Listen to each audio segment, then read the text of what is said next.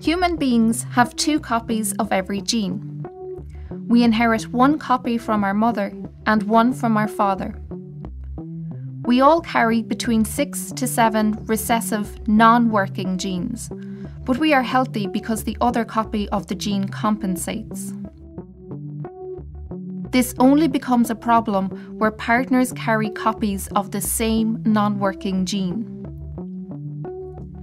If both parents carry the same non working gene and both pass on the non working copy to a child, the child will have no working gene to compensate. In this case, the child will be affected by an autosomal recessive disorder. In this example, Anne and John are perfectly healthy, but each carries a copy of the same non working gene.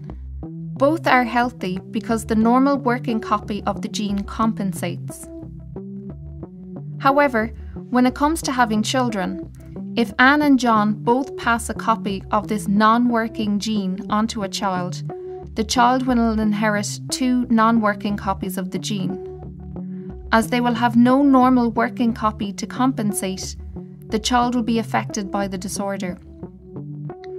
The risk of this happening to every pregnancy to this couple is 1 in 4. If Anne passed on the non working gene and John the normal working gene copy, then the child will be a healthy carrier, just like its parents. The opposite could also happen, with John passing on the non working gene and Anne the normal working copy, and again the baby would be healthy.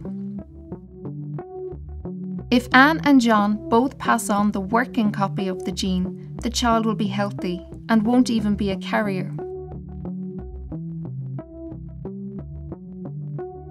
So, as you can see, parents who are both carriers of the same recessive gene have a 3 in 4 chance of having a healthy child with each pregnancy.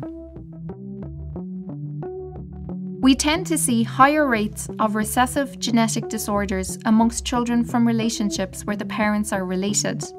This is known as consanguinity.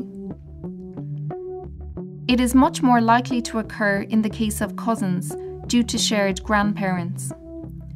This is why genetic disorders tend to occur more frequently in marriages between cousins.